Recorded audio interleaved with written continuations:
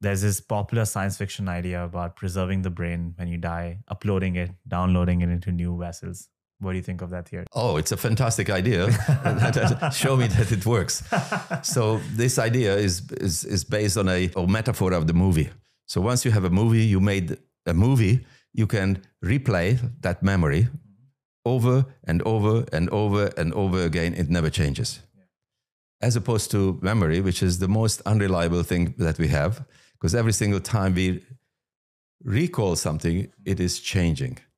Because it puts in a new context and the new context is adding something to it and you make the old memory more colorful constantly changing and and that reflects that indeed there is no such a thing as verifiable. It's not like in the computer that you put in something that is never changing